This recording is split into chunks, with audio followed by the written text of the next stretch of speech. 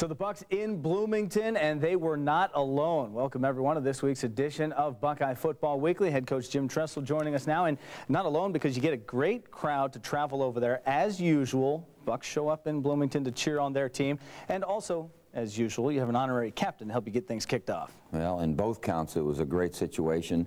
Uh, Pepper Johnson being the guy and with Deontay on our team and, you know, Pepper carrying those big Super Bowl rings. He's got five of them, oh. and uh, it was impressive for our kids, and, and he talked a lot about what Ohio State meant to him, and then you could see the fans, mm -hmm. they were yelling all afternoon about what Ohio State means to them. Did they mention anything about what a pitfall scenario this could be? Did you talk to them about that Memorial Stadium? You know, we've been talking all week about it, but uh, Pepper just said, hey, there's no excuses. You better go out and beat this team. And, and uh, he, he kind of gave it to him straight.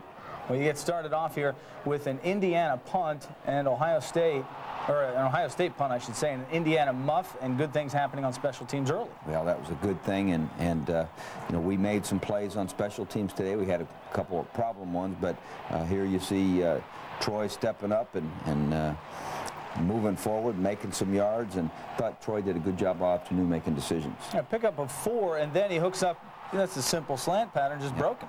Yep. He, Santonio Holmes could do something with the ball afterwards, and good protection, and and. Uh, good job getting on top. Yeah, 23 yards complete and a 7-0 lead. Take the crowd out early, make them sit on their hands from the start? You know, it, it uh, our crowd took them out and our defense yeah. took them out. And, of course, getting that first score. And, and uh, our defense did a good job of handling the run the whole day long and really handling the tempo of the game. Ashton Youboty was thinking six there on that. And then uh, A.J. Hawk, the clobber, 13 yards. Antonio uh, uh, Pittman here yep. rips this off. Well, this was a good one to, to get get the uh, rushing game going, and here they're coming on a blitz, and, and uh, good job by Troy making some big plays uh, on the option game, and, and he rushed for, I think, 60-some yards, which that's a great compliment to the rest of the group. And, and uh, he finds Santonio, who does a great job after catch, and, and we're moving the football down the field. How tough is that? And Santonio gets after it. He can play, no question about it. 11 yards complete there. And then this has got to be disappointing here. You go back to that well with the slant to Holmes again. Yeah, it, unfortunately, uh, we had the uh, turnover here, and uh, instead of being on the, our own one going in, and now they're 65 yards differently, but uh, our defense, uh, you know, keeps playing. Well, that they'll have to. Anthony Schlegel here, big pile in the middle, lost of two yards. They had trouble uh, running the ball all day long, and here they went uh, with the field goal after the great field position, and good job by our defense holding them to three. Yeah, Joe Kleinsmith with a 39-yard field goal, and it is 7-3 the count. Now, Santonio Holmes is going to be the recipient of this Troy Smith pass as well and turn something into it. Well, there was great protection, and Santonio came all the way from the other side, shallow across the field, and good patience by Troy. And, and then here we go with Antonio Pittman, uh, who rushed for 133 today and, and uh, continues to be very solid. Stan White does a great job with good protection. Thought Stan might get in the end zone there, but uh, we ended up going with the option uh, to get down in there and score. Nine yards complete, and then Troy Smith, the keep and in the surest way. Yeah, good-looking play, and, and, Troy is a dangerous guy down there with the option in the red zone. Yeah, eight rushing touchdowns on the year for him, and uh, I don't know if you want to set a number on what he can do when, before you start the season, but certainly eight's pretty impressive. Sure is, and here he finds Ryan Hamby for a, a good gainer on a crossing route, and, and we're moving down the field, and then he'll find Teddy Ginn right up the seam off of the box look, and good concentration by Teddy getting the football down there inside the 10. Back-to-back 27-yard plays for the Bucks, and as you go inside the 10, you kick the field goal. Josh Huston, 23 yards. It's a 17-3 game. Yeah, we really would have liked to get seven there, and and didn't get it done, but but did get three. And again, here comes the defense. They had they were swarming all over the place the entire afternoon. Well, short of first down, the Hoosiers are there and then back on offense. And uh, you like to get it in his hands any way possible because that can happen. Well, that's right. You know, slip screen, uh, any way we can, punt return, kickoff return, deep routes. Uh, you know, Teddy Ginn's a good football player. 17 to 3 as you head towards the half. And uh, a road game is going to test some composure now and again, and you're going to get that in this game. Yeah, especially when you make the mistake like we did. We're down there getting ready to score and make it, uh, what, 14 nothing, mm -hmm. and uh, we turn around the other way. But you know, our guys bounced back, and right there at the end on that last drive would have been nice to get at least a field goal. Went, the field goal went off a little bit to the to the outside of the post, and so we would have liked to have been at least 20 to three. Yeah. Uh, ended up 17 to three, but uh, we knew we knew it was going to be two halves when you're in someone else's stadium. Are there some mistakes at this point of the season that you deem unacceptable at this time, like this far into it, you can't be doing? Well, there's a couple penalties that uh, you know we'll see in the second half that you know just are inexcusable, and and uh, you know any time that we turn the ball over, which you'll see one in the second half, Yeah. you know that's that's inexcusable. But uh, you know you, you've got to get better at everything you do, and I think we're improving. Well, the clip is back in vogue, apparently. We saw one in the first game of the season, I think, and then two on the first drive from interior lineman. That was kind of Yeah, odd. it'll be interesting to watch it closer on Yeah. film, and you know you can't hit a guy in the back of the legs, and you know perhaps we did.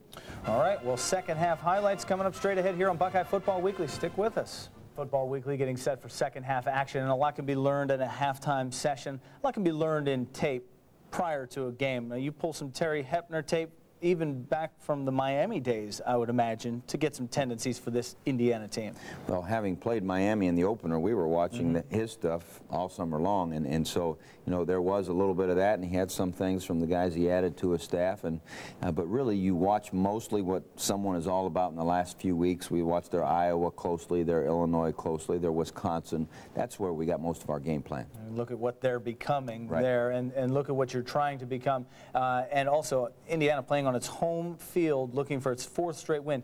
That gives you the idea that these guys are not the same Indiana team that you had faced in the past. Well, you know, anytime you have a little change, there's a little reason for uh, excitement, and then there's some proof. You had some victories, and you have some people coming to their stadium, and uh, people giving them respect and so forth. So we knew we were going to walk into a tough situation. Well, and uh, they knew that you'd walk, they'd walk nine up into the box at times and, and try to make you run the football uh, or make it as difficult as possible to run the football. A source of pride, I would imagine, to still be able to get out and try to establish a running game. Yeah, you know, we like to spread it out a little bit different. Here you see it, uh, we're in a little bit of a box formation, and here Troy finds the comeback route. Uh, this is the first drive of the third quarter, which we felt if we could take command of this game and get it up to 24 to 3 and, and uh, through a little screen there, you know, we're moving the football down the field, doing, doing what we would like to do, crossing midfield, uh, you know, taking the tempo of the half, and, and then uh, unfortunately we have a turnover here, which, you know, just trying to make something happen. Really wanted to keep the ball outside. Right there, we would have had about a seven or eight play gain, uh, yard gain, but it turns into a turnover, and I'm not sure exactly when stopped progress is. Last week, when we got a fumble on the one-yard line, they were calling stop progress uh, in the Michigan State game, but whatever. It's a three-point uh, situation, and we come back and go to the ground, and this was a good-looking drive, probably the best-looking drive of the entire day. There's Antonio hits a big one, then Troy flips it out to Antonio again uh, on the option play, and now we're crossing midfield. Well, just chewing up yardage on the ground. I mean, this is one of those, uh, you know, answer drives. And the linemen, I don't know what was going on in the huddle, but they took charge. Yeah, they sure did. And here you see Mo Wells. It's great to see him. We really need him to really start stepping in and becoming that good change of pace back. Mo Wells, 26 yards. That's after 18 on the Pittman after taking the pitch, following a 17-yard pickup. Now Troy, 22 yards away, and he keeps it. He did a great job of getting in the end zone. We were hoping for a little blitz in the red zone. You love to run option against a loaded up box and possible blitz and good read by Troy and and uh, that that was a good tempo drive. No question. You're 24-10 now, and you got to the 24 that you're looking for, and the number you're always looking for uh, on the road or at home. You're at that magic number and still playing D. The loss of nine there for Kudla, and back again now Brandon Mitchell, this time playing center field. Yeah, this was great. We put a little bit of pressure on him, and I think he was blinded a little bit when he let this go. And here you see Brandon Mitchell getting a great escort down the sideline, and he goes airborne, and big play. It's great for our defense. To, and they've been working hard to try to create those turnovers, and it finally happened. Yeah, said he'd be, he's been saving that move since high school when he played a little receiver. Is that So right? he wanted to- wanted to- saw the quarterback coming, felt threatened, so he got in. But a big lead, 31 to 10 for Ohio State. Uh, and you move to fourth quarter action with this now, and uh, Schlegel, nice tackle there, and then Smith takes off running again. Again, you know, they, they feel as if they have to really pursue to stop our option game, and Troy does a great job with uh, with good patience. And he's coming back and stepping up and throwing that little shallow route to Santonio again across the middle. And, and you know, they tried to play a little bit of man and got rubbed off, and uh, we're down there knocking at the door. Yeah, 26 yards complete on that. pick up another seven to number seven. It's a good job of reading what was going on. We loaded up three into the boundary there and, and uh, just did little hitch routes, and now we step up and Josh Huston, who's been so solid all year long, yeah. pops it through. Solid enough. Uh, we talk about the 29-yarder he kicked there to make it 34 to 10 might mention that he missed a 49-yarder, which is the first miss inside 50 this entire season. Yeah. So it's pretty good. It really is, and his kickoffs have been great. There's Jamari O'Neal with a big hit, and I don't know how many touchbacks uh, Josh had, but four or five, and then that good one it forces them to punt, and and uh, this is this is great to see right here. No question about it. Ted Ginn Jr. waited all season for this. Couple of called back, one in this game, one at Michigan State, and here he goes off to the races. Well, it's, it's great to see, and he's so happy to look around. There's no flags, and yeah. Uh, yeah. we've had way too many penalties on returns, and and uh, that was an exciting return. Yeah, a lot of people looking around to make sure no flags. Right. 41 to 10, and in the box score, that's going to look impressive, and people see that. Well, you know, and, and I think that was indicative of the game. Had we not made a couple mistakes, mm -hmm. you know, it was going to be a good, decisive victory, and uh, we're going to have to be better than that. We understand when we go to play Minnesota. Mm -hmm. uh, you know, they're an upper division team up at their place. They've had a week off. Uh, Laurence Maroney is probably the best back in the country. Yeah. Uh, so uh, we got a little better this week, I think, and now we have to get a little bit better next week. A measure of road confidence gained, you think you can tuck that away? You know, I think it is. You know, went on the road and, and uh, got the job done and had some adversity with penalties and, mm -hmm. you know, things that didn't go our way. They had a long kickoff return, but we kept them out of the end zone and those kind of things. So uh, we had they, when they yanked that ball out and took it for a touchdown, that was a little adversity, and we came right back and, and not at home. So, you know, I'd like to think it's a little confidence on the road. Was Ted Ginn Jr. moving around the field with more confidence, did it look?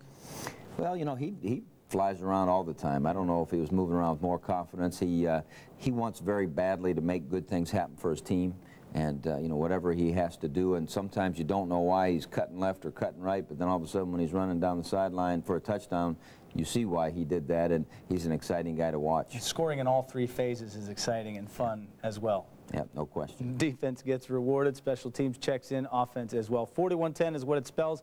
We are back. First, we have our Buckeye Profile segment right after this break. You want to check in with that Steve Winter and Mike Kudla, our featured guests.